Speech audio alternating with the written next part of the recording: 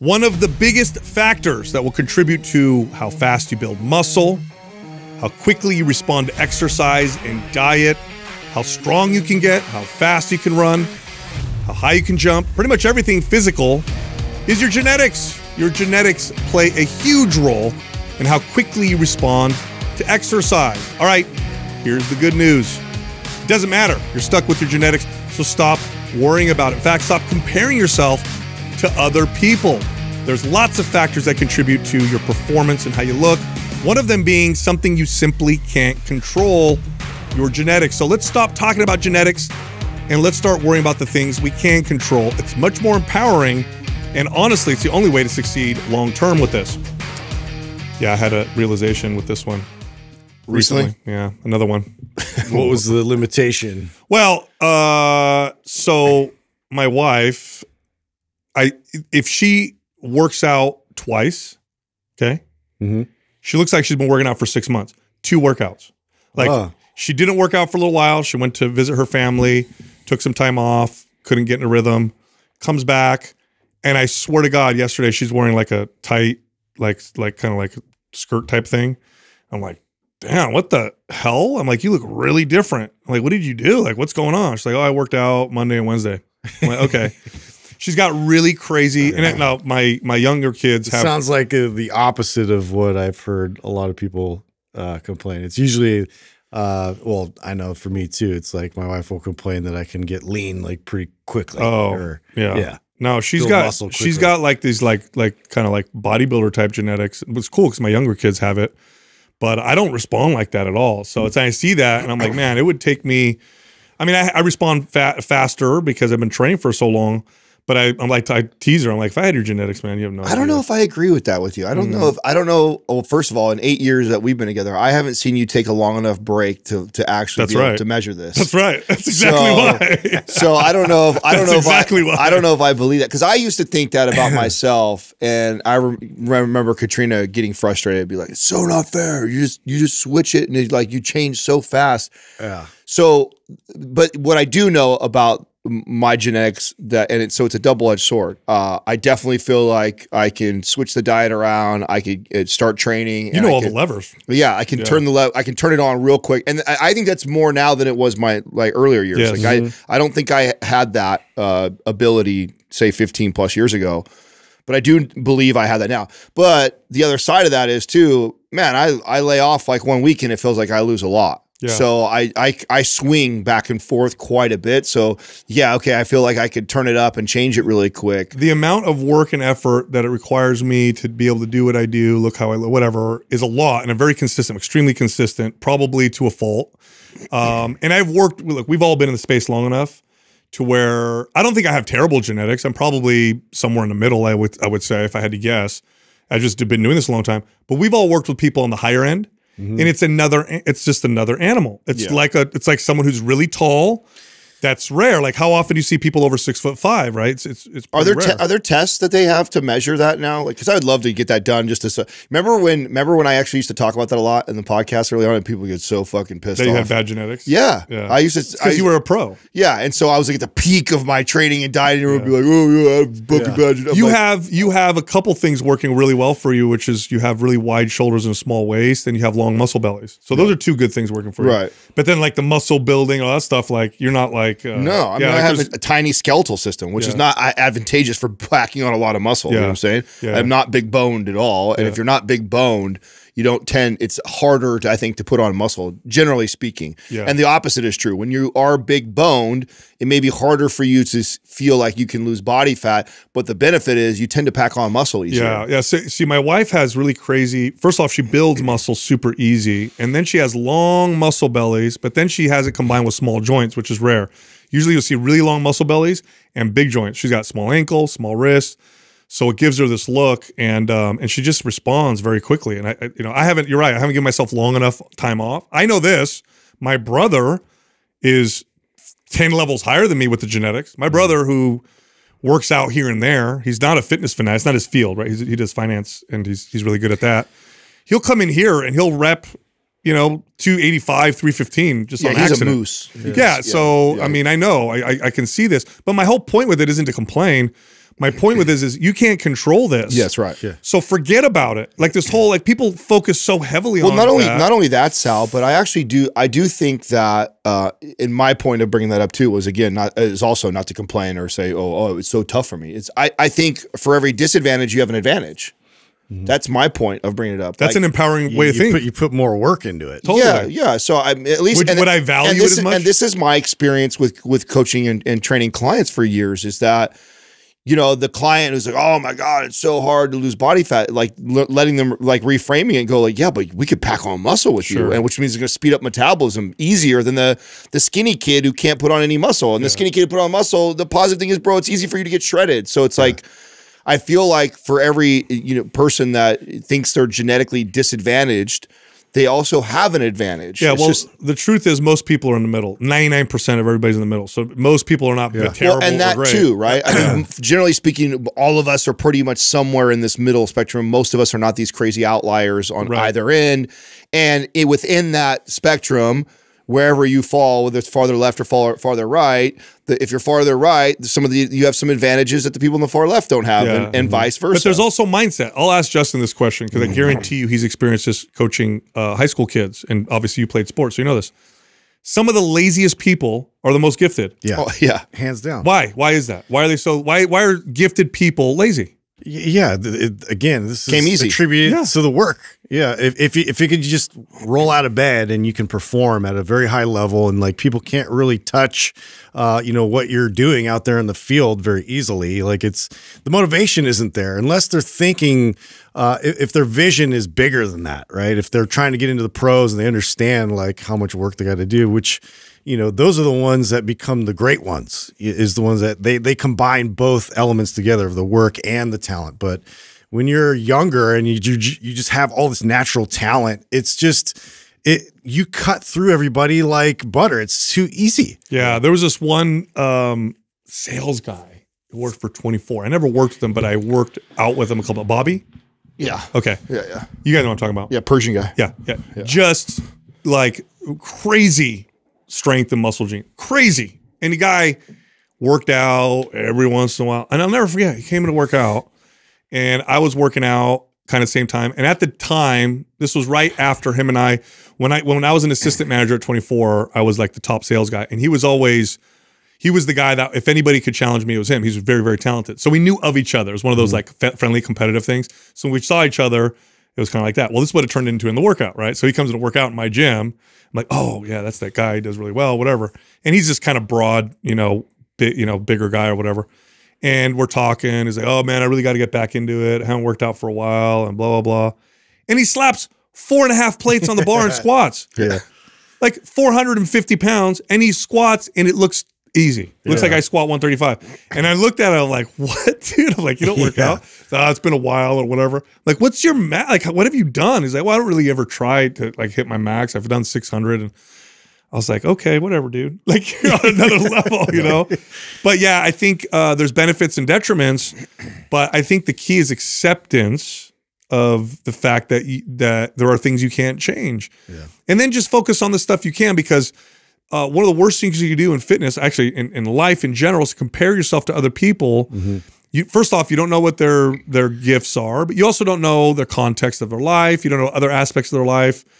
It's not fair to you, and you may be comparing yourself to one aspect, but you may not even want to trade their li- your life with them anyway. So it's just weird. It's, It's just such- a, it's a self defeating thing. Yeah, I don't. I, it just reminds me of when I was growing up. My dad's six seven. He's huge, right? And it's and I idolize him, and I, and I'm like this little kid that's like I, I know I'm not going to be that big, and I, I keep growing up, and I'm like I get to six foot, and I'm just still like I'm not I'm not going to be that big, and it was frustrating to me. But what I can control is how strong I am, and so that was like something I just started to figure out. I'm like, well, okay, if you're gonna wrestle and smother me, like I have to get stronger. And so it like promoted me to like go in the strength direction. So one day I flip him over and I'm stronger than him, right? And it's just like you gotta look at it differently. You gotta have a different perspective about it. Whatever is your weakness, like you can find a strength in, in a different direction. That's right. This this idea that we're always uh, pointing out who had things easier or pointing out privilege all the time. It's like I, I don't know why why we assume that uh, things coming easy to you is a better way for life to work out for Sure. you. And in all aspects. I don't care if that's for uh, you know education. I don't care if that's for uh, work and and being you know introduced to the right people to get a good job. I don't care if that's genetics around uh, of being able to build a physique. This idea that it coming easier for some people and then being privileged and that that is that leads to a more fulfilling better life is so ironic to me Yeah. it's crazy because a lot uh, we talk about all the time about the journey is everything right? Well if the journey is everything and you have an easy ass path like how fucking fun is that journey?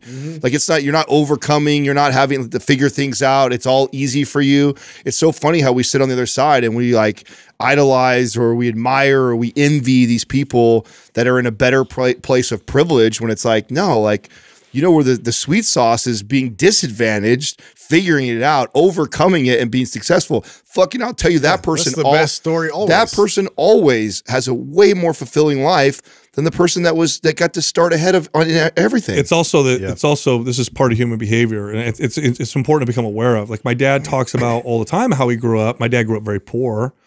You know, uh, just you know, what, six kids, cement house. You know, one room at one point. You know, it, it just poor. He was very poor growing up, and I, and he always says how happy he was. And I said, man, I said, you tell me about how um, you bought shoes that were too big because your mom needed them to fit you for a long time. And then when they didn't fit, she cut the toes off. They became sandals until that didn't fit. And then you bought new shoes. Like you tell me these stories and you talk about how happy you were. And he goes, we didn't know we were poor. I'm like, what? And he goes, everybody else was like that. We didn't compare ourselves to other people because this is how everybody was. Everybody was. And boy, does that point to human behavior. It's like we can't be happy if we know or perceive or think somebody else has more than we do. It's so crazy to me. It's something to become aware of because it's always going to be there. I don't care mm-hmm. what you have and how much you accomplish.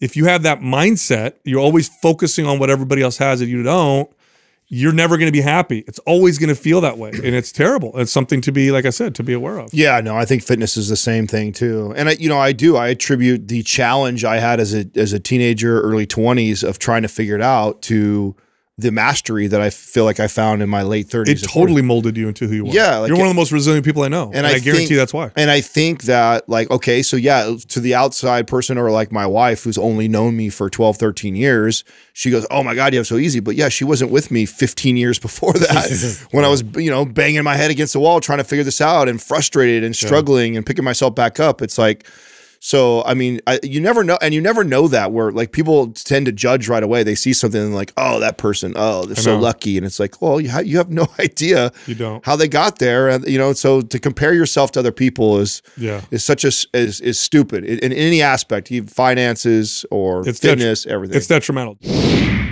All right, today's program giveaway is Maps Anabolic Advanced, uh, and you can win it for free. Here's what you do leave a comment below this video uh, in the first 24 hours that we drop it, subscribe to this channel, and turn on notifications. And then if you win, we'll let you know in that comments section. It's also on sale, by the way. There's a final hours for the 50% off sale for Maps Anabolic Advanced. So if you're interested, click on the link at the top of the description below. All right, back to the show. Ju- Justin, I want to back up a little bit. You talked about when you were able to finally flip your dad over. How old were you? yeah, so I was 16.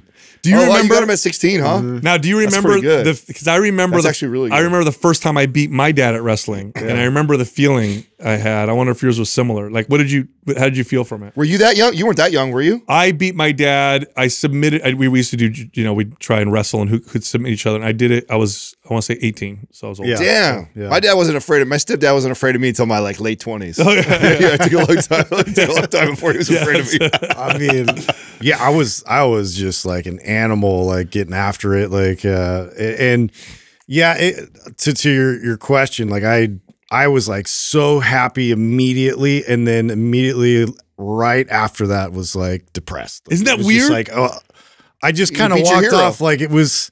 Yeah, it was You totally him. it was a surreal experience because it was like that was like my pinnacle. The pinnacle goal was like I I'm gonna I'm gonna you know reverse this. I'm gonna I'm gonna take him and like and and, and flip this off so uh, he can't do this to me anymore. And like really, it was just like I don't know. It it's really hard to articulate. It was like it was one of those things where you're just like you work so hard, you don't think it's ever a- an achievable goal. I guess that's that's how it felt. It was like I didn't think I'd ever be able to do it. And Then I did it, and then it just kind of and then he was weird about it, and I was weird about it. We kind of walked away, uh, and we're just like he's like, okay, I'm not gonna do it. My dad's like, I'm not gonna do that again. I'm like, okay, yeah, I same feeling. I I, I got my, my dad and I used to wrestle. He's impossible. He's just you know he's just so strong and, and technical and whatever. And I caught him. I caught him with a a, a leg lock, and I he tapped. And I remember at first being like, "Yeah, I finally got him," and then being like, "My hero." Like I just I just beat my hero, and then it was weird afterwards. Although he he was kind of like, uh, and I think it's a moment as a father. was he proud? Yeah, because it's it was weird, but he was proud. Yeah. he was proud. Uh, but it was also kind of weird because I think at some point as a father, I don't think you wanted that early as a father. no. Yeah. well, it's a realization. pro- I mean, don't you? I mean, that I'm so that inspires me Yeah. as a dad. Like when I hear those stories and I think about that stuff. That like and, and I don't that you guys are we're talking about physical capabilities. Yeah. I think in all aspects, right? Yeah, anything. like Yeah. intelligence, like success, like, I think, whatever, like, yeah, yeah. everything. Like I want I want my son to have that bar where he's just like his most of his life he's trying to catch up to dad, right? And I look forward to that day he overcomes it. I hope it's not at 16 though. if you do a good job, yeah. a little I mean, you're right. I guess I guess you're right. So if I if I do a really good job and he does you uh, know, really catch all those things by 16, I had kid's I, gonna be killed. I had I a- was more. You had a younger brother too. I had an older brother who had a lot of friends that were way bigger than me too. So it was You like always I was always the underdog, the small guy that was like fighting everybody like as much as I could. So it was like I think that's probably why it accelerated a little bit. yeah, I I uh, I had a kind of a moment like that early on with my oldest. I think he was 14. And no, maybe even younger, 13. And uh, he's a he's a wizard at math, and that's I'm terrible. oh, at on it. the intelligence level. Yeah, you he know, just came back. He just had homework, and I said, "Oh, let me see what you're doing." And I looked at it and I'm like, hmm, "I don't know how to do this." I'm like, "My days of helping you with homework are over already." You know, like okay, you know. Yeah. So it's kind of like that. Yeah, but, you no, it is like that because that's just a different another area. Like Yeah, that, you know what I'm saying? And he is a super smart kid. So, Yeah. and that's exactly what you talk about now. You have with him, like he goes back and forth with you. I can only imagine your guys' battles. Oh, the debates. Yeah, discussions. the arguing and I'm just wiser, so he argues the way I did when I was his age. So it's like looking in a mirror, and I'm Yeah. like, oh, okay, I know where you're coming from. You're from. like, fuck, I used to sound like this. Totally, I'm sure you're totally. like, I'm of getting a, bit of that. Yeah, Ethan's starting to try and challenge my ideas quite a bit. Oh, really? Dinner table. Yeah. Oh, I didn't know that Ethan's getting just that a little you. bit yeah yeah he's been he's been really chiming in and trying to like edge his ideas you know against mine and so it's good like we, we get into and, and courtney like gets a little awkward you know, like starts to kind of get up and walk out and it's like oh it's getting tense and then i'm like it's not tense we're just like we're working this out you know we're having a nice little discussion about some of these things I So, love it. I yeah. love debate and, and that kind of stuff. But It's Jessica- got to be very challenging as a father to not, uh, when those moments come, to not default to like what I think a lot of dads or parents do, which is just like, oh, I told because I'm your dad, Well, yeah. Yeah. you know, or and to do that. And Well, be like- because you like, know there's stuff there's stuff that you that you know that you're yeah, right. I could smother and over power him with with facts or whatever and kind of but you know I want to hear his thought process. Yes. So so this is so Jessica's really good at this. Is she's like, we don't don't let the kids know your opinions so strongly or so often. Let them develop their own. And then when they have their opinions, however wrong or whatever you think, question them, just question them. ask questions. Yeah, yeah. And uh, this happened the the night. We're sitting there watching the uh, the Republic, the first Republican primary debate, and my daughter was sitting on the couch, and she's texting with her friends, and but she's also kind of hearing, right? And so as it's going on, I'm commenting and I'm saying things, and I feel you know Jessica hit me under the blanket. And I'm like, oh, you're right, because I don't want I want my kids to come with their own opinions. That's right. Then for me to ask, and then for us to discuss. Because what could happen is either a they adopt your ideas without re- ever really or forming they their own, revolt against it. or if they rebel, they know what to Yeah. push up against. That's right, Which that's is right. you know probably even worse. I mean, that's like That's so hard, That's though. leadership 101 right Yeah. there. Yeah. though. That's le- that's leadership 101. That's you learning to ask the right questions, pull them in the direction that you want to, and not push them in that direction because you do risk that by forcing or pushing your ideology on your kid of them. You know what's hard about this? Rebelling. By, by the way, and and uh, this is just this was a learning lesson for me. I think you do good with this, Justin. You got older kids. Is it's a long game. So why it's so challenging is that you get immediate results if you do it old school style. No, this is whatever. Blah, blah. They succumb. They submit. You win. Right. But the long game, the dividends pay back way more. I'm seeing this right now with my two and a half year old. So, like when he does something not supposed to or whatever, I default to old school. Like, don't do that. If you do, I'm gonna put you over here, whatever. And it gets, it may get some immediate results right away. Sometimes, usually it doesn't. They push back real hard, whatever. But it may, right? But uh, the other approach is slower. It's more conversational. It's more um, what do they call it? There's a term for it. It's a type of parenting. But initially, you're like, just you know, just tell them to stop doing that and pull them away. It's a longer play. But now I'm seeing it come out firsthand. Now my two and a half year old, he was his sister, his older sister, who's 13, right? They're sitting on the couch and she's playing with them. And then uh, a couple times she was like watching TV. So he's kicking her. Okay.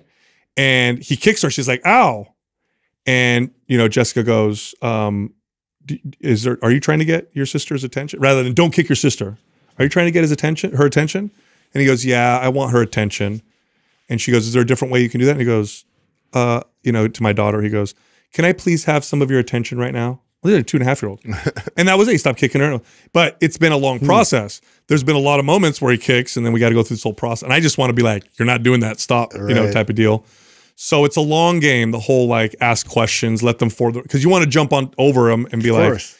That's a stupid opinion, buddy. You shouldn't say, I mean, shouldn't th- say this, think that. I mean, this know? just goes back to I think one of the the biggest differences of you know 25 year old you versus 40 you know 40 year old you is that you're patient, you're wiser, you're slower Hmm. to to react like that. Like that's I think that's one of the great. It's not to say that you can't be a 25 year old father and be a great father. I just think that at that age, you're still there's still such a, a, a, a I mean, especially for men, right? We're still maturing so much and still figuring things out about ourselves that meanwhile oh, now you have to figure things out about yourself and also figure Yeah. out what's the best way to handle this kid and i think a lot of times that gets muddied especially if you add in stress and all the other things like that and so the the power of of being older and wiser and mature is that you have this ability to to feel those moments like i mean the, the the awareness that you even have to know that oh this there is a better approach to that like imagine you being 25 in that situation it's like oh yeah. you probably just would end up arguing with your wife and be like no i don't you know, and sometimes I still do because I, it's you don't see the immediate result, and Mm. um and I grew up in a particular way, and you know whatever. Yeah, then you add in that element too, like the way we are all raised, right? We all Yeah. have different backgrounds, and so Yeah. you know a way. The only way you know is the way you were raised. So this was a this was a this actually leads to a cool discussion. Is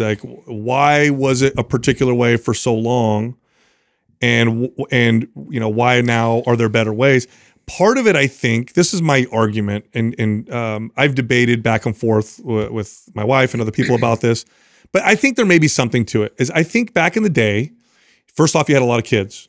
You have a lot of kids. Second off, you don't have time to take your time. I have do lots things. of thoughts around. Yeah, the Because work, the you- work schedule and structure was pretty demanding. Yeah, Bro, we have the the challenges today are different. Yeah. than 50 years ago. Yeah. I mean, 100 Yeah, years ago, are. especially. Definitely 100, definitely 100 years, even 50 years ago.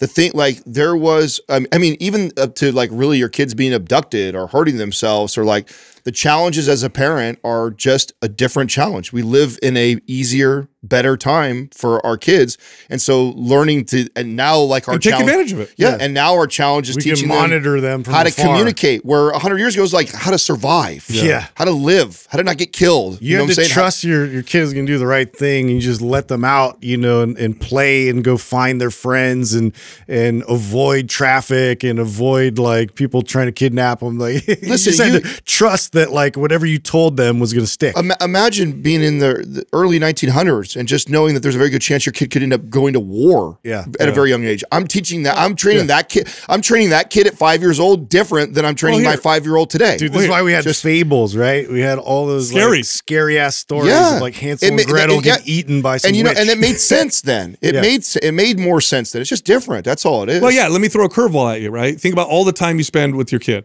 right? Mm-hmm. All the dedicated time you do with teaching. Now imagine if you had seven. Like that alone, even today, Yeah. with all of our luxuries, it makes it exponentially more challenging. Well, guess what? They had seven kids. My Matt and Dad grew up with six kids. My grandfather, nine kids. They grew up with all these kids. Plus, you cooked everything by hand. You mm-hmm. cleaned clothes by hand, washed dishes by hand. Dad was gone, and when he came home, he could barely walk through the door because he just broke his body working. Yeah. Mom's been breaking her body working all day long.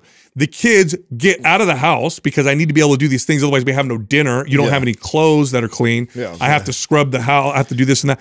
So The all you were intensity was a lot different. all you're looking for is immediate effectiveness. That's right. You, Yes. you don't know? have you don't have time to communicate to seven different kids that way and be patiently waiting for all of them to evolve. No, you're like if you you're like if you do this, I'll throw my Meanwhile, two you. of them Yeah. died because you were being so patient with the other two. It just doesn't Yeah. work that way. No, it was So- a crazy time, and so you, you see that, and it's like this is why you know, I mean, like shit. I mean, these kids you used to used to hit them. You know, why do you? Hit I your- mean, it's how you can know, you hit your kids? It's a really good discussion and interesting point to bring up because a lot of times we tend to like shame our parents or our parents' parents for oh my, I can't and like we act as if like we're so much better and it's like oh they did what the fuck were they doing and they were so wrong. It's like I don't know necessarily if they were so wrong or so off. they were It's working that- with what they had. Yeah. that's and, The we're, and it's so, environment and was it- completely it's different. different. It's just different. It's way it's way different today, and I do think that that that approach and and is is more important today than say maybe hundred years ago. hundred years ago, and with seven kids, that's not what you're doing, dude. It just isn't. You're not sitting down. And, No, Well, and, and and you know what it too. I You're like, oh, great, of- I have this yeah. two year old who's so smart and self aware, but then you let your other three kids die. You know what I'm saying? Because you're so busy communicating to your fucking one. You should have fucking slapped your kid for fucking touching the hot Yeah. stove that he caught on fire because you were being so patient with the other two. You know what I'm saying? Way to go, Dad. You know what I'm saying? You're so good. I know, I know. It cracks different up. times, I know, I know. Different- it makes me laugh. But you know, today we have the we have a lot of advantages, and we have the ability to learn and do this kind of stuff. And then you, you produce like healthier, I guess, more self aware children. yeah. You know, but it's just the result. Hopefully, I hope we don't, we don't we didn't produce just a, Well, a now you have, to, we're you have to wrong? equip them to actually like be able to stick up for their own belief systems, and- Totally. and, be able to be in, immersed in this world where everybody's trying to indoctrinate Well, my biggest fear is that like we're totally wrong and we think we're so right and we Yeah. turn we just make a bunch of fucking mushy ass kids. You know what I'm saying? fucking that can communicate so well to everybody, but they're fucking weak as fuck. And we get we get invaded and nobody can fight or nobody can do anything. Well, hey, here's a good example. Here's a good example. Okay, uh, here's it because the environment has changed radically, so things have to change. Here's a great example. When my dad grew up, you got in big trouble if you didn't finish your dinner. Like you didn't eat your dinner. Yeah, I know. Like your dad would hit you across the table. Okay, or if you didn't eat it, guess what you're eating tomorrow or the next day. we don't know day. if we're gonna have food. That's why. Don't be an asshole. That's why. Because Yeah. if you are, if food is hard to come by, Yeah. and you're feeding your four year old, and you know That's why that made so much We ain't sense. gonna eat That's why that made so much sense. Yeah. And they're If like, you "I don't like it. I don't if care you if had a- like if you're old enough that you had parents that went through the Great Depression and stuff like that. I mean, I I, I always uh, tell that story. I heard Dave Ramsey tell about his dad. Like, imagine my because my dad was a carpenter, my stepdad was a carpenter also. And to think like, oh my God, th- well, imagine my my stepdad pulling old nails out and To save 'em. to save them, to reuse them. That just seems so crazy. It's like pennies. You know what I'm saying? Why would you do that? But oh, you grew up in the Great Depression, like you might have to. Well, bro, Add it up. if you give your if your if food is hard to come by and your four year old is picky, you're like, I don't care. I'm forcing you to eat this food. Yeah. because you need it. You need Yeah. the food, and we might not eat three or you'll, uh, you're, you're going to be malnourished. Is what's going to happen nowadays. You have to teach your kids how to choose, how to have a good relationship with food. That's what gets them to survive now. What you need to teach your kids now is how to not become super unhealthy with all this crazy food that's around. Back then, it was like you just got to eat what is in front of Yeah, you. well, it's so funny because like the the virtues were different too. Like like that's the same. I get in this with my mom all the time because she's very like thrifty, you know, and we'll go to like a, a bargain barn and thrift stores and still buy just junk. And I'm like, Mom, this is trash, you know. And like, can you just buy something that's actually like packaged and new, you know, and give it to my kids? No, it's just trash, Bro, my mom. It's like I found it, you know, like she's all excited. Like it, it's like a hunt. Like she thinks it's like a treasure hunt, you know. And I'm like, you're treasure hunting in people's trash. Yeah, I- That's what this is, you know. I went to my I went to my parents' house the other night, and remember my parents, you know, they grew up or whatever certain way, but then eventually my they worked hard, middle class, everything's fine, right? But I go to my parents' house the other day for dinner, and I open her, uh, you know, the cupboard where the glasses are, and I see all these little glass, like look like little glasses, right? But they have like threading on the top where like a cap would go. on. And I Oh, they're, like, they're mason jars, bro, there's like there's like ten of them. I'm like, mom, what are these? reusing mason what are these jars? glasses? It's like, oh, My family I buy the that. I buy these yogurts, and then I, you know, you just you wash them like they we have little glasses now. Bro, we use I'm like, my, my why are you saving these my glasses, family Mom? one hundred percent. Why, Bro, dude? anything if you got something like like even like um my my stepdad used to love that. What is that? That that pickled vegetables. You ever seen that before? Like they're like they're Like a like big jar? carrots. Yeah, and they're yeah, like, yeah. yeah, and they're in a jar. Like those were glasses for us. That are, I'm saying you bought that, you ate the fucking shit that's inside of it. We washed it out, and now that's glass. Dude. Hey, my I, I, I, I my my mom All used glassware is good glassware. my mom used to wash uh, disposable like forks and spoons and knives. So she'd wash them, and, and until I finally shamed her. enough Oh, all it. of our save all the Ziploc all of bags. our and it's not for the climate. Everybody's all oh, of our nice. No, no, plastic, you wash- all want of our that. Plastic cups were like the supersized McDonald's things. Yeah, yeah, Yeah. You buy a dollar ninety back then it was a dollar probably for a supersized cup. You kept that plastic cup, you get a lot of uses out of that thing, dude. I told you guys we would wa- wash them until the, the fucking decals faded off. I told you guys. I told you guys a story It's all about washed when I went to the grocery store with my grandfather when I was a kid. We were we were buying vegetables. We went to go buy vegetables, which already Oh, annoys he- him. he chips the Yeah, he's already annoyed. He's buying vegetables because he grows his own, right? So he's already mad that he's buying something. Why don't we just eat the ones we have? Why do we have to get these other ones? He's complaining the whole time. And he gets the vegetables and he pulls out, I don't know what are they called. They're not pliers, they're the kinds of, like the pruning. scissors, uh, pruning scissors. Yeah, pruning scissors. Yeah. He pulls it out of his pocket. Like, no, no, what are you doing? And he goes, I'm not paying for the stems. And he starts cutting the stems off the vegetables and leave him there while he puts the st- in the bag to, yeah, to weigh them. that weight That's is so gangster. uh, going to add up. I'm like, what'd you save? Like 25 cents? Not even. like even a whole bag of five stems cents. He's like like, we don't eat the stems. Why are we? Why do we? He cuts them off. Like, Old tricks, you know. I know. Speaking of speaking of genetics, I was laughing the other day because my two year old, my uh, excuse me, my nine month old, she found her voice, and uh, it looks like she takes after my side of the family. So Oh she's gosh, you be loud. loud as hell, bro. god. She just sits there and screams. Poor Jessica can't Projecting get a break. that- Can't, she dude. can't get a break. she can't. So because she doesn't like loud noise. My wife is a quiet. She likes quiet. She likes the house to be peaceful. And I grew up in chaos and loud, and nobody in my family knows how to talk without yelling. It's just the way we are. And I'm the loud one of the loudest ones in my family. And of course, I have two kids with her, and both of them are loud. And I'm like, sorry, honey. My daughter just sitting on the floor. Ah, ah, ah. And I'm looking at my wife. I'm like, I'm sorry, honey. She's just like just all shell shocked. Yeah, just like uh, I told him, why don't you wear it? I told her, I s- literally this was serious. I said, why don't you wear like headphones, like earmuffs? You know, she's like, because then they bother my ear. I'm like, well, I don't know what to tell you that. Everybody's loud in the house. Nothing we can do about it. anyway, so, Adam, I wanted to make a comment and just get back at you for something. So one long time ago, we did this great live event, and there's this unspoken agreement that when we show up, we all dress eh, casual, you know, casual. and then you showed up and you looked sharp, Yeah.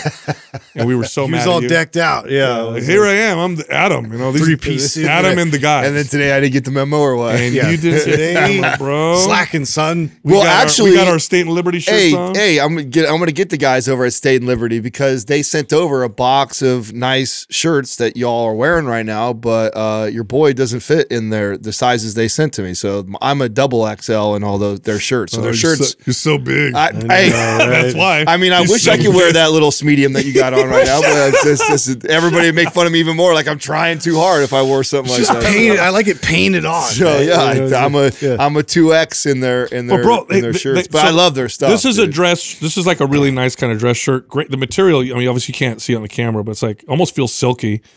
But everything's tapered because uh, the problem that I have, I mean, you guys definitely Justin and you have. If you work out, you have broad shoulders, small waist. Yeah. You buy a dress shirt. If it fits your shoulders and arms, it looks like a dress around Yeah. your waist. But everything is It's a made parachute for that comes down. everything's made for athletic builds. So I, I go off the rack with the suit. Everything fits so nice. I mean, it's made for that, right? So that's what I love. That's what I loved about the company. I tell you what, one of the other things I love about these guys. So I, I uh, the audience knows I'm the one who talks to like all of our partners and works out a lot of these deals and stuff. the deal maker. yeah, that's gonna, that's gonna see if that sticks, right? It will. So, you know, I I always tell them, I always recommend for them to do things like this, and it's only a few that ever do it. I don't know why, but and I'm so excited about what what they are doing over there. So they're doing a giveaway, and like I'm like one of the best ways that you guys can get leads from the audience is to do great giveaways instead of us always just talking about the same stuff all the time. Is put together some cool giveaways, and so they're like, all right, that sounds awesome. What can we do?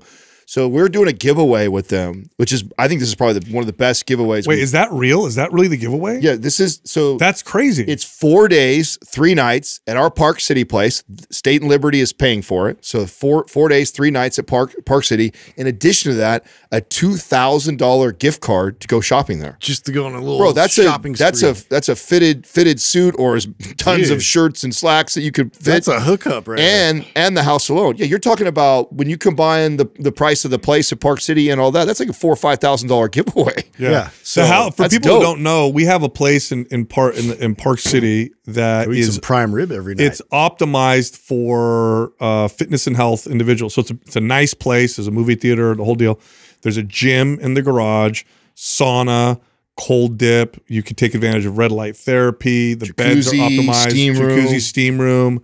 It's literally like optimized for. By the way, the fit uh, health people. uh, movie theater and the arcade just got there. oh, Yeah, yeah. So we got one of those like old school where you sit tabletop down, ones? tabletop ones. It's got like fifty of like the old school like galactic. I haven't even got a chance to go there and play. I go, I fly out Dude. next weekend. Yes, I used to play and I fly that out. at a few like the Pizza local places. pizza place. Yes. and, and then there's an A and W root beer, like actual like burger joint. yes, that had that. It was like a Pac Man. It's a game. in Frogger. yes. Yeah. I played that game. One of the thi- Great game. One of the feedbacks from the Utah property that we've gotten from people is they absolutely love. So we've also when you get there and you arrive, aside from getting some cool mind pump goodies and stuff, there's also like a list of all the things that we love to do: restaurants, drinks, things that like that. And people are starting to like do that and follow the list, and that's been some of the most positive feedback.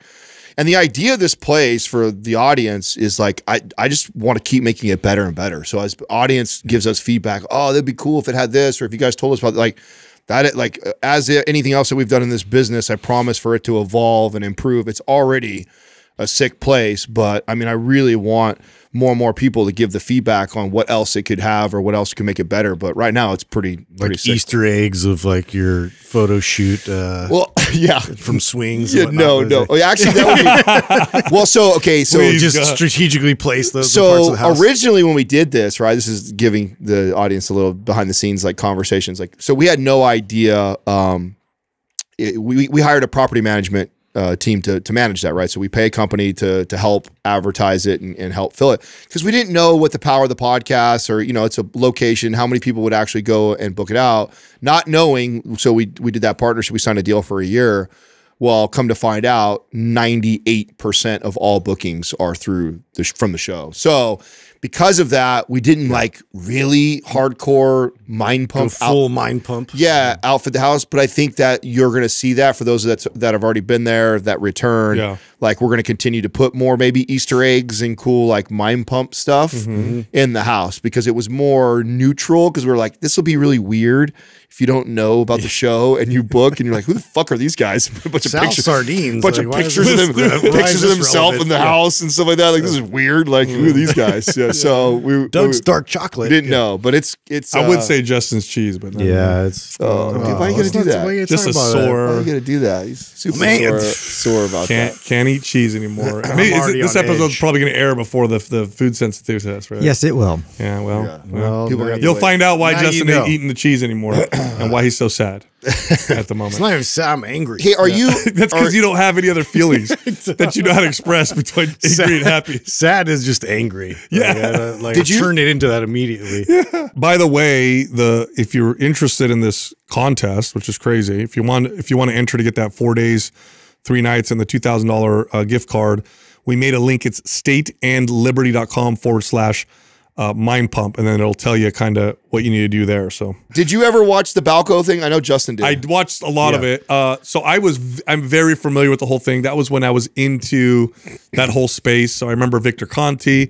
I remember SNAC supplements, ZMA, the Clear, which was what was called TM something. There's their their steroid that they made that that was technically legal. I remember the whole deal. Marion Jones. I remember all that. It was crazy, crazy. Ben Johnson. so so yeah. you know what's unfortunate, Barry and I want to know if you felt you guys feel the same way too.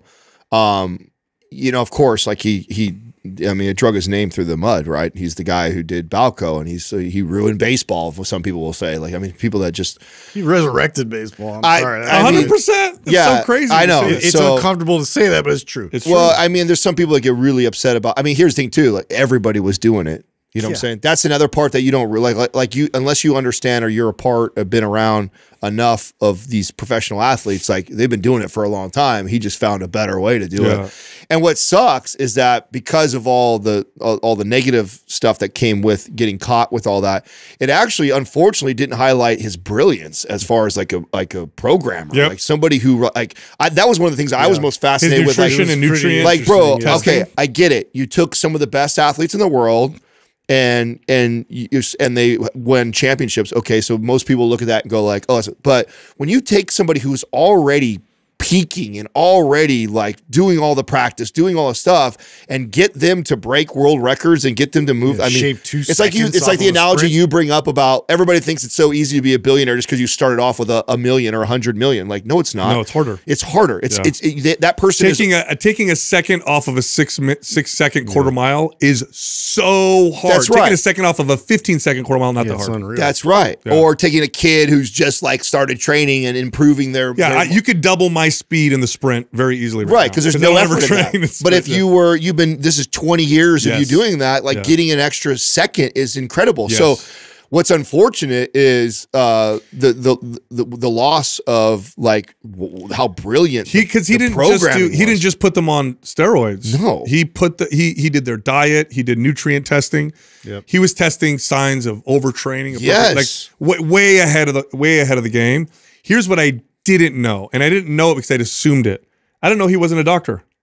Uh-huh. Uh, for years and years, I thought Victor Conte Yeah, I didn't Yeah. know that was a doctor. Yeah. He's not at all. No. He's just a smart dude. Yeah. That's yeah. it. I- and another reason You why just learned it on the fly. another reason why I think it's so, kind of crazy and cool. You know why I thought he was a doctor? Because the old commercials for SNAC uh, ZMA, ZMA is zinc because he wore, aspartate. wore a lab he wore coat. a lab coat. That's the old school hustle, dude. yeah, for and he sure. wore the, he had the mustache. Didn't we do a video where we put you in a lab coat? Yeah, Did we do that? One like Like, as yeah. a like as a Everybody tongue, knows tongue in on cheek. it. It's just, Yeah. it's yeah, it's an immediate authority grab. yeah, if Right you have away. books behind you and you're wearing a lab coat, That's you know. the that's the Tai Lopez. Yeah, move you- right there. It's the fucking, he's got I'm books in it. He's got his Lamborghini in the in the garage with a bunch of books. Like who puts their books in the fucking garage, dude? That's the funniest thing I've ever I seen. know, so. But I I, mean, do it that was- about all comic books behind me. You know, But I did geek. I geeked out on seeing how he like the way he programmed them for their breaking the records was just absolutely it was every- ahead. It was so ahead of its time. everything was uh, programmed together, Mm-hmm. and that's what it takes to get someone who's that good a little bit better. It's just it's insane. And I feel like everybody now follows that protocol, but that was one to me of all the stuff in that documentary. That was what I they was put like. the most attention on the steroid that he that he did. But the reality, I'm going to say something very controversial. Yep. The reality is, of all the things he did, that single factor probably, if you combine all the other factors and compare it against the steroids, probably played the smaller. Exactly my point. And Mm-hmm. you could have gave the same steroids to a thousand other coaches. By the way, they that were all coaching. on steroids. Yes, they were I- just on their. On That's what I mean. ones, That's yeah. what I mean. You could give that, that the same steroid stack that he was, you know, the secret clear stuff Yeah. that he was giving to his people to all these other professional coaches and trainers and doctors that would be prescribing to other professional athletes, and they wouldn't see the same results. So Here's here's an uncomfortable fact that people don't like. All the people that you see that perform at crazy, ridiculous levels, if you took them all off steroids, they would still perform at crazy, incredible levels. They still, you still wouldn't come close. they're like, genetic freaks. yeah, look at like Ronnie Coleman was Mr. Olympia for I don't know eight times. Okay, he was this this the craziest looking bodybuilders all look crazy, but Ronnie Coleman even till now you just look at him and be like, what the hell? He was top ten Mr. Olympia natural yeah. natural. So naturally, he got to a place that none of us in this room could ever get to with all the drugs in the world. Yeah. We would never even come close, and that's where he was natural. Then he then he finally took steroids and then became Mr. Olympia. it was yeah, but just insane. just to Flex Wheeler was the same way too. Flex Wheeler's Flex Wheeler had long one of the most amazing epic physiques you've ever seen in bodybuilding. Natural for most of his career, gets to, on steroids later on, and then blows everybody out of the water. That's Like, crazy. Uh-huh. Yeah, yeah. You, uh, speaking of sort of iconic characters, uh, did you guys know that um, uh, uh, Andrew was telling me this earlier that Disney actually might be, um, I guess, I don't know what the term would be, but like releasing uh, Mickey Mouse might be up basically for the public domain. Be- What? Because Actual Mickey Mouse? yeah, because copyright, I guess, it, it only goes up to like 95 years Yeah. and then becomes public Oh, I didn't know domain. that. And so Steamboat Willie was like the first video that uh, They can't reapply. So- Mickey Mouse had, uh, you know, was part of. Is that's the only one that's going to be basically owned still by. They have Disney. to have the, like the first right to refusal, the first right. There's to, gotta be something to renew, right? That's got to be right, Doug. Well, I believe there's a time frame that you can have a copyright for.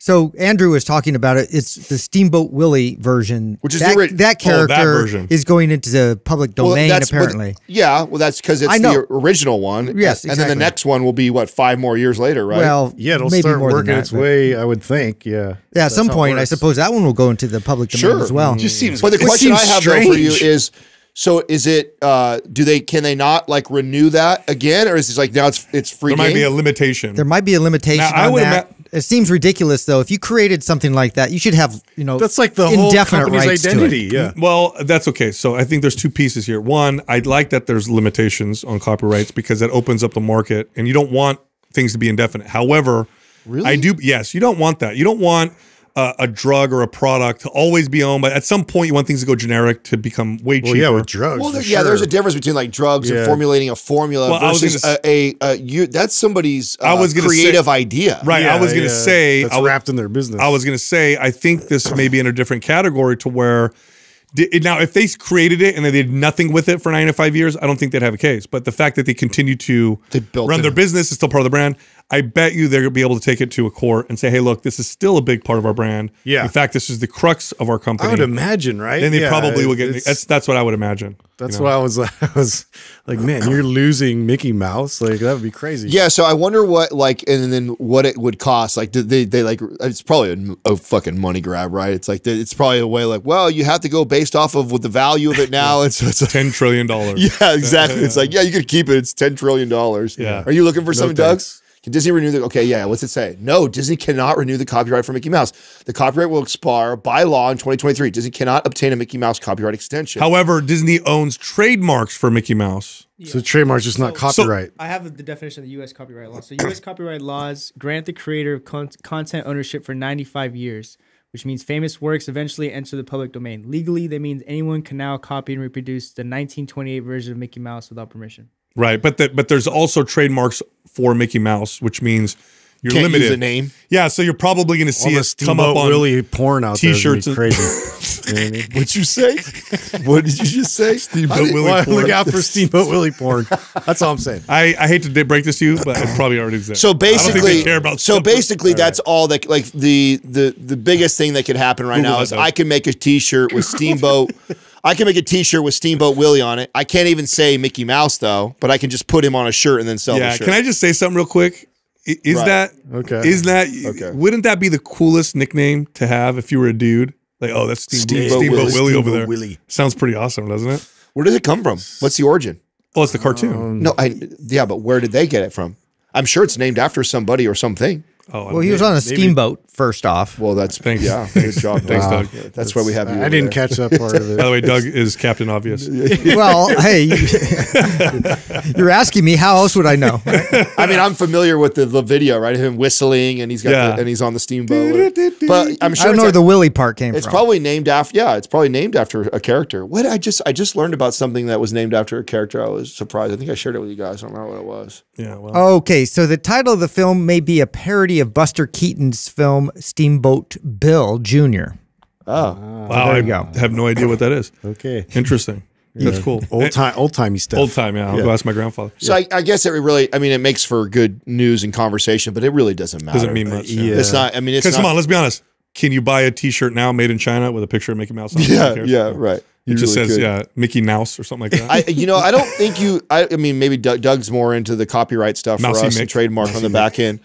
I mean, if you're a company and you, there's got to be a number like where it makes sense, right? Uh, Like Budweiser, like, do you really care? if Someone's like made a few thousand dollars off of like your branding. Like, I feel like that's you don't you don't you don't pick up. depends. Yeah, I would say it depends. at most you say to, you maybe you send a cease and assist to scare Yeah, them. yeah, yeah. But you're not going to file. You're not going to go. You're not going to hire lawyers over. A Yeah, I don't see that hurting Disney. I don't either. Basically, yeah. I want to ask you guys: Did you guys try yet? and they're gonna make me mad if you say no. So Uh-oh. careful. Did you guys try the performance stack, the Organifi performance stack? You mean just the pure and the Pure I plus the uh, peak performance. No, combo. I haven't done them to get. the So. I mean, I've done them like Got to do them together, dude. I know you said that. Oh, I know you said that. bro, It's like I drugs. I, I'm sorry. That's a terrible commercial. It's euphoric. Yeah. It's crazy. You take it, the combination feels incredible. You f- it is a euphoric. We would have never been able to wonder- be TV, dude. I know. Could you imagine? I know. like an ad. We, lo- we lose partners like on a weekly basis. Organifi.com. It works It's- that good. It's like drugs. no, it's not. It's not. Stop it. No, you just you. It, it's a cr- it's a wonderful combination. It is so energetic and euphoric. It's one of my favorite stacks that I've ever taken. So I actually caught. Uh, so Ethan grabbed the the peak performance, and he actually used that when I was gone, and like told me later. He's like, "Dad, I hope you don't mind, but I tried some of That's the got caffeine in it. Yeah, Do you like it? he loved it. Of course. Yeah, he loved He's it. your He's like son. going off about well, dude. He again, I've been battling him about with, when he's hanging out with his friends with the G Fuel and all this other that crap, nonsense yeah. that they're all drinking, whatever. Oh, are they all drinking that? Oh my god, you kidding me? Yeah, all that stuff in, in the prime and all those Yeah. you know uh caffeinated drinks that they're that are out there. So uh but he I've I mean we've had a lot of discussions about it. He's been really good about like kind of like navigating through all that, but he still occasionally will have some some caffeine and uh so he was asking me all about it like cuz at first like and this is again, Element T was another one that we were kind of like trying to discuss on when to take it and all that when he's like doing a lot of activities outside and he's like sweating a lot and uh, so he was he was asking me a lot of health questions around like the peak performance and all that and stuff. What do you notice from it? Was So I mean, he, was fire, he was like on fire. He I did all my homework. he- yeah, he went to did all my homework, gymnastics after that, and he was like, "Dad, I was like so focused, like I was going crazy." You know, like, I'm like, "Calm down." Like it's again, like that's my first thing is like, okay, well, you're way too young. You don't need any of this stuff. But yes, there's a, a quite an pure, effect. he, he can do pure. Do do middle schools and high school like allow kids to have walk around with like rock stars and energy There's no specific banning. No. I mean, There's as no- far no- as I know, Is there, there is there no real concern around that? I mean, you're talking about a 200 especially milligram junior high, I I, know, think- I know. I saw the news on Prime. I know Prime's getting highlighted right now and like going through some shit with like a lawsuit. But I mean, they're no different than They rock- need they need to they need to put on drinks limitations because caffeine is deadly. If you I mean, There's I don't not that much. Again, to be fair about the peak performance, there's not that much no, caffeine. you there. So can that's if you do like, three scoops. It's gonna hit- you got some caffeine. no, he just did one. So yeah yeah. But I, I I specifically told him to dose it so that you could go low caffeine or high caffeine. exactly. But I mean, like, there- it's not that like I, I didn't even get introduced to coffee till I was fifteen or sixteen. Well, coffee was is disgusting. Let's be honest. Black coffee as a kid. Who the hell drinks Uh, black and coffee? I did. when It wasn't kid? black coffee. I had Yeah, you- sugar, sugared up like crazy. Yeah, and right? cream. Yeah, Yeah. So I didn't have. But I mean, I, I got, and it was when I started working the dairy at at four in the morning before school. So it was like that was the only reason. necessary. it was, Yeah, dude. I didn't start drinking coffee until I started working in a restaurant. You know, and like I was just, I would just get in there, and uh, I remember one night before I'd stayed up way too late, and then one of the cooks was like, "Oh, you gotta get some coffee." I'm like, I don't know. Tried it, and then I didn't like it really, but it, it worked, and I was like, "Wow, this works." So that association went nuts I, after that. I wonder how many parents are actually really paying attention to this. They I've- need to. I I think so too. I mean, it's Not a drug. enough. I Caffeine is a very very powerful. It's a very addictive drug. Yeah. I see how hard it is, and it gets a hold of me as a grown ass adult that's aware of it. Yeah. I can't you know, imagine. boys, they're competitive, and and, And it feels good. Shit. So yeah, you got to calm them down. My, my first experience with caffeine, uh, this is like I was a sneaky ass kid. We had a big family party, and we always give espresso. It's like part of the like you have your dinner and you have your espresso, and everybody had espresso, and everybody left just a little bit of espresso on the bottom, and it's always where the sugar is. There's like a little sugar left.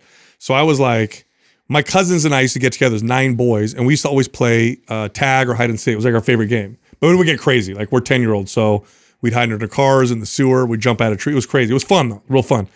but I went around the table and I picked up all these little espresso glasses that had a little bit of espresso and I drank a bunch of them because it had the, the sugar. And I remember like I beat everybody that day in tag, dude. I was just on fire, jumping over cars, doing crazy shit. and I remember thinking it was a sugar. yeah. And I didn't until later realize like, oh, I had caffeine. That's what that's what gave me all that. I, you know, I'm surprised that we haven't read anything that shows some sort of correlation with the in, rise of ADHD in kids in the last Technically, de- decade and decade and a half. technically, uh, caffeine would help ADHD. would help. Yeah, that's like like riddle. Not contribute is- to it. Yeah. Yeah, it would help it. really? Yeah, because Yeah, real. ADHD, there's a lot of stuff into it. Okay, but part of how you treat it would be to increase dopamine. Caffeine does that. So people with ADHD. Okay, but I feel like the kids are getting diagnosed. You- hear this uh, many times, right? I've heard multiple parents say that you know a, a teacher has told them, "Oh, your kid can't sit still in class," this and that. I think, it, I mean, could that not be because the kid's drinking fucking Red Bulls or drinking these energy drinks, and he's having to sit in a classroom for hours all day? And Uh, like, um, maybe. I mean, I can only imagine if you gave me a rock star, and yeah, then maybe a kid with no ADHD, just a normal. That's kid. right. So Yeah. what I'm saying is that Maybe how do we know it's not misdiagnosing 'em? contribute? Yeah, exactly. Contributing to the mis misdiagnose uh, uh, of of these kids, and then they go also go here's slap what Adderall. In on my top of opinion, it. here's what's more likely is that kids are not getting good sleep because Yeah, they're on their that's what it devices, and and or if they have caffeine, And they they'll don't get stay good up and playing video games with each other Yeah. until you know the cows come home and drink these drinks to to keep it going. So yeah, that's the problem. Dude, one more thing I wanted to ask you, Justin. Did you see the article on what they're doing with the Loch Ness monster? Oh, I, Uh, I somebody saw else it. tagged him, I saw yeah, that. somebody just tagged me that they're they're doing a full on uh, search. The biggest search ever for the Loch Ness. Why? monster. Like, what promoted? Is this because all the alien stuff coming out? They're like, well, maybe everything's real. Yeah. Well, no, I think it's because there's a certain too, there's like an European type eel and a certain fish that they think may be in the loch. They've said that. Yeah, That would but I when I was a kid, this is the hierarchy of like conspiracy theory stuff that I was into. Okay. Oh, It- you it started with the Loch Ness monster. it started at aliens was at the top. Oh, it was Bigfoot, was close Bigfoot for second. me, well, you were in the woods. aliens, Yeah, That's because you were in the woods. Yeah. So Bigfoot and aliens were close, but it was Okay. aliens, Bigfoot, Loch Ness monster, and then it was like Mothman and all that weird shit. But it was Justin knows what, What, again, what about Mobile Bembe? Yeah, or, Mokile Bembe. yeah. Yeah, that that's the, the dinosaur they found in Chupacabra was there too for a second, but yeah. it was uh, it was, Loch Ness monster was third, and I loved reading about the Loch Ness monster. Nessie. So Tell I went there without telling me you're a I nerd. went there. Yeah. Well, I had a shirt too. So Yeah. Well, Nessie. Adam, if a plesiosaurus still existed today, Thank you. That would be crazy. Drop the knowledge. come on, dude, Yeah. because that's what it Could might got be. trapped there. It's a very deep lake. Um, That's right. It's like one of the deepest in the lots of world. Theories that, Yeah, dude. What is he eating though? Yeah. like let's we got to talk about that. Like, People. there's literally okay. It's got to be something because so yeah. So before that, they really thought they had found it too, but it, it turns out it was like a man-made like submarine thing. Yeah, like, they were using debris that they eventually used as a host. They found the bottom, but I mean, they try to keep that that legend, that lore alive there, and it's funny because it's it's all tongue in cheek. It's in Scotland, right? Yeah, it's in Scotland. Yeah. Yeah, and uh, I've been there actually twice now, and it's Doug, it's- look up plesiosaurus. I want Adam to see. This is a what beautiful This place. is the theory. This is the the, the big theory is that Just get me up to speed. the here. animal that they see, the creature that has been popping up in the loch for I don't know how many years, uh, over hundred years, more longer, Yeah. Uh, is a a non is a still alive. is like, the lock gone- is the lock the name of the body of the water? Yes. Yeah. Okay. Yeah. yeah. Okay, so there's also one in Iceland too that I had Hmm. found out when I was there. There's another like lake there that they had seen, uh, and, and two Michigan or somewhere in the Midwest uh, as well. There's there's another like famous. Is there? Yes, there's another famous uh, uh, sort of sea monstery Yeah. kind of. So that's a plesi- plesiosaurus, and uh, that's a weird picture. They're much bigger than that. That's a stupid picture, but they're big, long neck, and uh, carnivorous. So that'd be cool. My favorite theory was though the um, that uh, when you see a whale flipped upside down. Yeah, whale when it's mating, it's it looks just like the head of uh, uh, Nessie, Loch but it's really yeah. just his penis. So maybe there's a, a whale penis in the loch. Yeah, which would be also crazy. A whale? why? Why are you in the loch? Why is that there? That's crazy. Explain that. Yeah. So we got a shout out for today. Uh, yeah, I could. I want to shout out my friends. Uh, he just started a new music project, and he's like a good friend of mine, and it's really awesome. It's like uh, all the Office. Uh, so the the show The Office, he took like the theme songs of all these. And Oh, that was your friend? You sh- Metal. I Like, saw you one of my that. good friends, like from college, like best friends and like he literally would never put anything out he's like one of those guys that makes like amazing things he's super talented but will never share it with anybody you know and so he just put it out there on spotify uh, so they're called the scranton stranglers Oh, wow. so it's it's Sounds like hilariously awesome and he's super talented and go follow him Now, what's what's the uh, okay? We were just talking about copyright trademark stuff today. Like, what's the legal like? He's kind of Skirting skirting the- that out. Yeah, like, we'll see what happens. Find out when we get him I don't know right? if he's uh, like making. He's not making any money off of it, so I think that's where he's okay. But I don't know how that's going to play out. maybe like a, maybe, Maybe he'll do, do a vanilla ice there. Remember when when, it, Yeah, ice bro, ice baby? You shout Yeah, him yeah. out, he gets arrested. He adds one extra beat. Dun, dun, dun, dun, dun, dun, ding. yeah. It's different. It's different. different. You guys got to see that clip. that flew. You know that that passed for I know. sure. Yeah. Check this out. You're not what you eat. Technically, it's you are what you digest. Now, here's the problem: if you're a fitness-minded individual, you can eat a lot of protein. Uh, you can bump up the calories. Maybe you're doing a reverse diet, and the problem is sometimes it's hard to digest. Well, digestive enzymes helps to break down food into usable parts, and there is some research to suggest that fitness-minded people probably need more digestive enzymes. Anyway, there's a company called Masszymes that makes digestive enzymes for fitness-minded individuals. And if you go through our link, you'll get 10% off. Go check them out. Go to masszymes.com. That's M-A-S-S-Z-Y-M-E-S.com forward slash mind pump.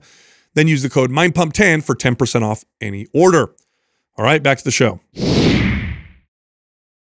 Favorite exercise and drills to activate your glutes. Activate your glutes. All right. like you know, like the episode we got coming up. Yeah, we did. Okay, so unless you have, if you're a normal person, average person, you don't have trouble connecting to your glutes or feeling your glutes. The best exercises are the ones you that everybody talks about, right? Barbell squats, deadlifts, Romanian deadlifts. Um, those are phenomenal butt building exercises. Lunges, those are good too. Now, if you have issues connecting to your glutes or your quad dominant, like you do squats and your quads respond, but your glutes don't respond so much, then hip thrusts are phenomenal because they really do help people activate, connect to, and uh, you know stimulate their glutes for muscle growth. So I would say for some for this person asking, it sounds to me like you may have issues getting your glutes to respond. You may be you know quad dominant in that sense. Then I would say uh, hip thrusts. Hip thrusts are, are the best for that. So I would answer that as if this question was more, what's the best exercise if I have a hard time feeling it? But if you're asking for the best drills, I think of priming stuff, right? So I- Sure. what what comes to mind for me is, which by the way is in the same vein as what you're saying, which is I would say a floor bridge. Uh, I think uh, one of the bet an isometric hold at the top in a floor bridge is one of the best ways to teach a client mm-hmm. how to activate and feel their glutes. And mm-hmm. so I would do say five of those, right? Five isometric holds at the top. How long of- do you have them hold it for at the top? Five five seconds. Just squeeze yeah, real hard, Yeah, yeah. squeeze Yeah, it real same. hard for five seconds. Re- let it come all the way down. Back up. Yep. Hold five seconds. Intensify. Back down. Five times. As you know? intense as you can make it. That's right. The- yeah, the yeah. point Real is to feel intense. it. Squeezing it as hard as you can. I mean, if they do a good job of that, sometimes people actually get sore just from that. Yeah. So uh, if you do a good job as a, as a coach and trainer, you cue that, you get them to feel that, and then they go into a more traditional movement that is that is primarily for your glutes, but they have a hard time feeling it. Like let's say you know deadlifts or squats or something like that. So that would be my go-to move. And what it does person. is it just all it does. It's not it really not. It's not like activating fibers differently or anything like that. Really, what it does is it just allows you to connect and feel what the glutes should feel like when they're activated. So then, what it does is it it ever so subtly encourages a change in your form and technique. So then you can move in the squat in a way that oh, there's my glutes. I can feel them now. Now the squats are hitting the areas that I Well, want. you gave a great example in the, the upcoming Bret Contreras interview that we did, which is like it's just like when you had a client and you couldn't get them to retract their shoulders to squeeze their mid back, and you put your finger in their back. I mean, you putting your finger on their mid back doesn't activate any fibers. It wasn't that their back wasn't firing or anything like that. You mm. just you gave them some sort of Physical feedback. feedback, Yeah. feedback. So they they understand. They make a better under connection of like, oh, that's what it should feel like. That's basically what you're doing with that floor bridge is you're squeezing that glute at the top of the hip extension, and you're like, oh, that's because those exercises, deadlifts and squats, is a hip extension. Right. So that's what that movement is. You're just showing them like this is how you should feel that at the end of the hips, and then just helps that that client make a better connection. Yeah, one more thing to add. If this is a weak body part for you, and this is true for anybody who has a body part that's lagging, start your workouts out with focusing on that body part. It, it makes such a big difference. So much of the adaptation goes to the exercises you start your workout with uh, versus the ones you end with. That if this is a, a body part of focus for you, your leg workouts should start with glute focus. Your or your full body workouts should start with glute focus and then move on to the rest. Or the pencil test. Next question is from Jonathan Sosh. What tips and advice do you have for the behind the head barbell shoulder press? I love this. Okay, so people so this exercise went from being super popular to becoming super demonized. Yeah. To now it's somewhere in the middle. Okay, so it's a shoulder press, standing or seated, and it's behind the neck. Okay, so it requires better mobility, control, and stability than a traditional overhead press, which already requires a lot of stability um, and mobility. And this is why it's got it's gotten demonized because the if you've never practiced this exercise or you have shoulder mobility issues, it could definitely be a challenge. The majority, I would say, of people probably are dealing with a bit of Yes. shoulder mobility issues, and that needs to be addressed. I think it's a very valuable exercise. I think that there's um, definitely like um, a way to get there in terms of like qualifications. So to be able to retract your shoulders all the way, not be in a position where your head's super protruding forward Yeah. and your shoulders are, you know, a bit protracted. So, um, but i- i- in terms of like working your way there, it's like a lot of different things your body's capable of. Your body's capable of being stable and strong in a range of motion. It's a valid exercise. Yeah. So I went on a kick uh, after all my you know bodybuilding meathead training to really working on this because I, I lacked the ability to do it, and then I wanted to regain this. And what it looked like for me was the first thing I focused on was the Z press. Uh, and when I Z pressed, I would actually hold and stabilize at the top, right? So I would press up, I would stabilize the top, and really getting to where I can I can pull the shoulder blades back, like Justin's alluding to. Started with that, I got I got better and better at that. Then I moved to the seated behind like a military uh, press with just the bar. And and I actually would come all the way down. So I would be sitting down, I'd sit upright, activate my core. I would I would press, and then I'd actually let the bar actually rest on my traps, like if I was doing a squat. And and I would almost I'd reset every rep. So I'd come all the way down, let's sit there, and then I would uh, get myself back up with good posture, pull the shoulder blades back up, press it all the way up, and then I would set it back down again. And every time I'm setting it back down, I'm re- I'm emphasizing uh, uh, uh, uh, activating my core, pulling the shoulder blades back, and just getting better and better at that pathway of, of moving it. So I like the um, resting between reps and and kind of resetting between every, every Yeah. rep. So what's cool about the the behind first off, the behind the neck press is not a bodybuilding exercise, although bodybuilders popularize it. This is a classic exercise that was been used in Olympic lifting for a long time. Yep. Olympic lifters still do this because it helps them with uh, some of their big lifts. Um, and they'll do it in a way to where they're they're doing it as a power push exercise. Yeah. Yeah. it's like and it's it's exceptional. explosive. Yeah. It's it's exceptional. What's different about the behind the neck shoulder press versus in a traditional overhead shoulder press? When you're doing a behind the neck shoulder press, you are really emphasizing, if you do it right, scapular mobility.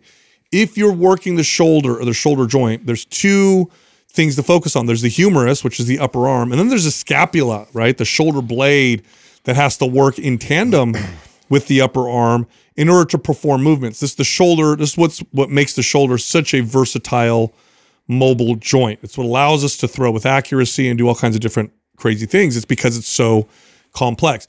The behind the neck shoulder press encourages retraction and then upward and downward rotation of the scapula. So if you were to look at someone's back and you look at the shoulder blades, like these flat bones, First off, you have to pull them back and retract them to do the behind the neck shoulder press. Otherwise, you'll hit your head. And then as you press, you have to be able to outwardly rotate and down, excuse me, upwardly rotate and downward rotation of the scapula while maintaining somewhat of retraction. This is an important part of scapular mobility. Most of us never practice this or train this. So when you do this, it's really, really hard. Yeah. So start really light. In fact, I recommend people start with a stick. Thank you. I was ah, I was gonna deliberately talk about that because that's one of the ways that uh, would I would definitely like take somebody through that process is to be able to create tension first and Yes. foremost, which is like you grip the bar and you're gonna actually kind of pull a bit outward Yes. as you're pulling down towards your back, and then you're gonna maintain and, and control that tension throughout the entire range of motion. Uh, so that way you're it just communicates to your body that everything is accounted for and it's stable and secure and so that way you know you're you're you're able to produce the amount of adequate amount of force in every inch of that range of motion Yeah, and I would say to somebody, start super light, Super maybe slow. with no weight. You'll still get a pump. People trying to develop Oh. their shoulders, do this exercise right instead of heavy. Do it with perfect form, which will make the exercise challenging. You will get a delt pump like nothing else. This is why it's one of my favorite shoulder exercises. massive pump and the, the, the motivation to do this or at least the motivation for me was not trying to target or hit the shoulders differently it was to improve my mobility that was the kick that i went on after training like a bodybuilder for so many years was man i really shortened my range of motion up on a lot of these movements that are important for shoulder health mobility right? So this was like okay here's a great exercise. I've lost the ability to do. I want to regain that. So when i'm doing it yeah i eventually started with just the bar and then worked to 10s and then 10, 20 and then 30 and then 40 and then eventually got to the point where i could do 185 like that.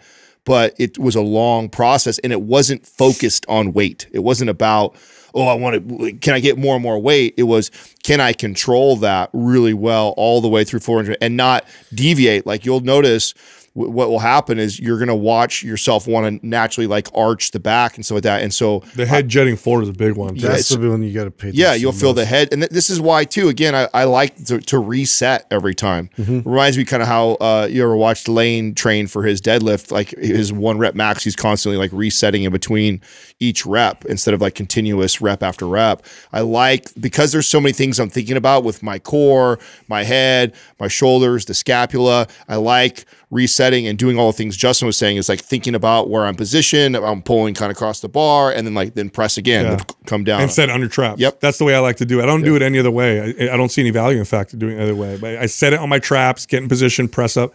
The pump with lightweight on this is incredible. And the other benefit you're going to find with your overhead press is just how much more vertical your, your pressing will get Yes. and how much more stabilized you will be with it in the overhead position. Totally.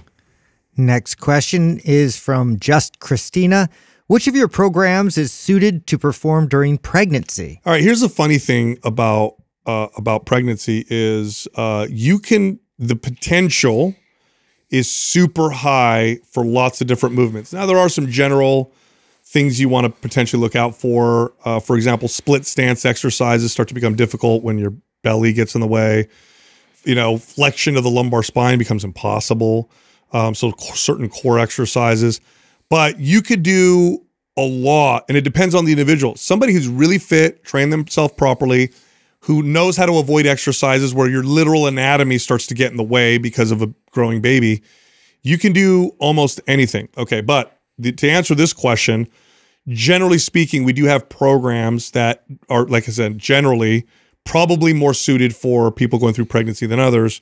Um, starter would be the first place I would go. That's what I had Katrina do. Yeah, starter mm-hmm. would be the first place I would go, and then second, you know, if you're really fit and you got you know how to modify your movement if you need to, maps anabolic is even fine. Well, the Um, good part about Maps Anabolic is you can do the at home option, which Yes. is all dumbbell driven. And so, like, to, to avoid a lot of those issues where you're going to have a barbell that's like you can't really perform good angles with it as much, you can actually uh, replace that with dumbbells. The real key is what what you were doing leading into pregnancy. On what I would tell you as a client, you could run Maps Aesthetic. You could run um, almost any of our programs if you were already running them and you had been doing stuff like that leading up into it. And what I always tell my pregnant clients is our goal right now is to maintain the strength that we have. Yeah, have. don't try and hit PRs Yeah. with pregnancy. Yeah, I don't. That's the mistake. We don't not want to try increasing intensity. Yeah, we're not trying to make gains. We're not trying to lose a bunch of weight or bo- body weight at all. We're not trying to make strength gains. Like I want to maintain your strength and mobility. And so if that means we are following whatever MAPS program, I'm going to pretty much keep that going. And I'm not going to really and then modify just specific movements that, like you said, like a a lunge gets hard when you got you know seven seven month you know into your your third trimester right to do certain exercises like that. So i might modify that. But for the most part you'd be surprised what you could do. Where i would tell someone for sure go to starter is if you are just now starting your weight training program and you haven't been training say for the last year or two years Or and po- you're also, post- postpartum, I would say too. also, Yeah. also Beautiful for that's that, how we kind of Once you get it cleared, right? Mhm. yeah, So- I uh, here's here's a couple special considerations. Although it's not across the board, you know, jumping, running, plyometrics starts to become more challenging on your body. Um, it starts to become more challenging on your core and how your body supports uh, the baby as it's growing. Um, and then single leg exercises, uh, believe it or not, can become an issue for lots of pregnant women because of the torsion it places on the pelvis and because there uh, the, the, pubic symphysis uh, the, it starts to loosen up as hormones come into the body. I think it's called I think the hormone, I can't remember the name of the hormone, relaxin, something like that, but it loosens the joints up, makes everything looser. But it can also cause this kind of pubic pain that women will get. And single leg exercises causes twisting and torsion on that, which can make it worse. So bilateral exercises tend to become more appropriate as you move into the later stages uh, of pregnancy. Next question is from Melanie Jebbins. How do you train yourself on the skill of running again? Well, is that a personal question or is that general? Because personally, I don't. I don't train myself on the, something I should do for sure. Like any skill, you have to start very slow and you have to remember that fatigue is your enemy. Like if you get tired, the skill is out the window and then it's just your body's going to move the way it wants. So how would you approach running if you haven't run in a long time? Um, and you want to develop the skill of it. Uh, well, first, the best way to do would be to hire a running coach, would be ideal. I actually recommended a few clients do this who really wanted to run and I talked to them about the skill of running. And look, you haven't run since you were a kid, or and you got to really figure that out.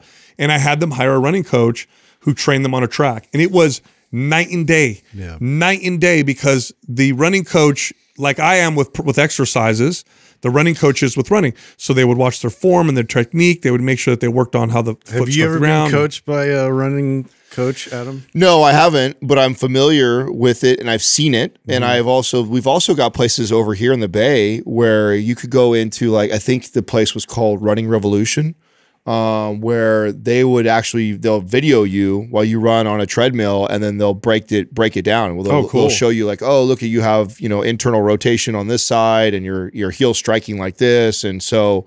Yeah. Um, if I was going to get into running, um, because running is a sport, okay, just like Yeah. CrossFit, it's like if I was going to get into the sport of running, uh, I would take it that seriously, where I'd want to get assessed and have somebody break down my mechanics and tell me, hey, you have uh, too much of a forward lean. You need to be more upright. You need to you need to work on your right foot. have to learn how to of- run. Gait, yeah, Yeah. Your, your stride, Yeah. your, your your get off, like all these things. Like I, I I actually worked with. Um, reason I asked is I, I went through like a year where I was trying to get faster, like by all means necessary to make the football team, and uh, I worked with like a track.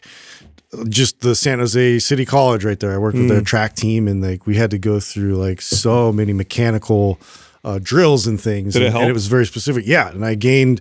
Well, I, I again I lost time on my forty, so I got down to like a four seven five, like from like a, Wow. a four nine. So, oh, that's a big jump. And you're Yeah. already an athlete. yeah, and we did a lot of training with resistance with with the pool, and like we worked a lot. It was a lot of a lot of it for me was stride, uh, and and so like to learn how to really like promote that length and and to, to be able to gather enough um uh, enough like ground and to really like make a dent in that direction like took a lot of effort. So it's it's a definite my only point to this is a definite skill to your point and, and it being like a sport like that's how you got to treat it. If you don't run and you haven't run regularly and you're not good at it because you haven't done it and you decide to do running as a workout i'm going to tell you right now you're going to hurt yourself it's almost guaranteed you're going to start to compile injuries because it's high impact it's repetitive you're probably going to do it to fatigue because you're doing it for a workout and you haven't practiced it you don't have good technique so you're going to hurt yourself so if you want to run to work out and you want to get to the point where you can enjoy, if you ever watch a really good runner, it's like you're jealous, like, wow, that person looks like they're just enjoying it and they feel so good and so whatever. It's not just the stamina piece. I'm gonna tell you guys right now, gaining the stamina is the easy part. That's gonna be easy. There's other ways you can gain stamina. That'll happen in a week or two. Yeah, you could gain stamina doing lots of other things.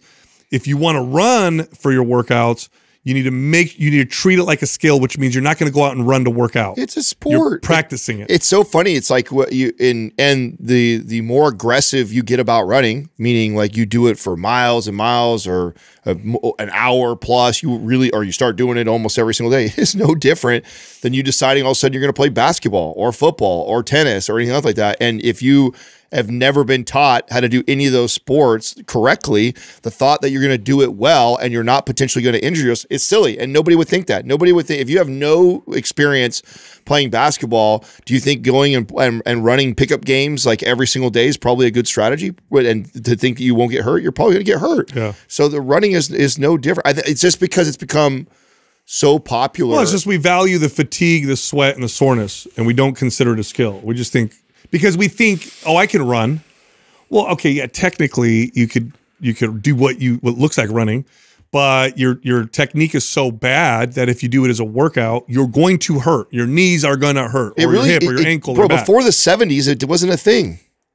Yeah. No, you didn't see people running outside. That wasn't a thing. no, there was a book that was written. I can't remember. The name of running. it. It was uh, Born to Run. Yeah. Born to Run. Is that what it was? Was No. it Born to Run? That was one of the. No, books. that wasn't the one in the That was not 70s. the Running Revolution? one. Yeah, it was running It's something like something that. running, so, Born to Run, Running Revolution. I don't remember. It's got what- like a red tennis but it's in the it. It's in the was it was in the '70s. yeah, it started the whole running revolution. and before that, we didn't even do it. No. And so it hasn't even been that long. We literally have like don't even have a full generation of people that realize that.